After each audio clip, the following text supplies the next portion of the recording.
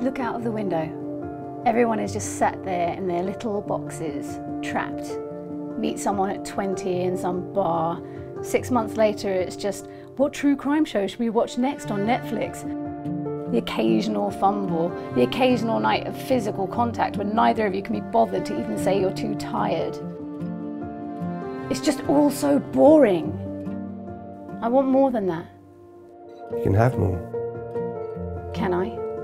Yes. You just have to get divorced first. And what then?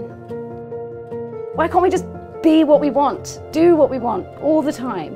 What's so wrong with that?